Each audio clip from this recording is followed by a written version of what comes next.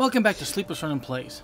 Today, I'm going to do a short little video, mainly just showing off a few of the bugs and glitches that I've found so far on Horizon Forbidden West. Now, I don't want to just have the whole video be about the bugs, so at the very end of the video, I'm going to show off a couple of little details that I really kind of love.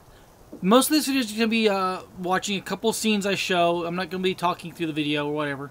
So, you know, it's going to be pretty simple, pretty sweet, mainly just Horizon Forbidden West. Bugs and beauty.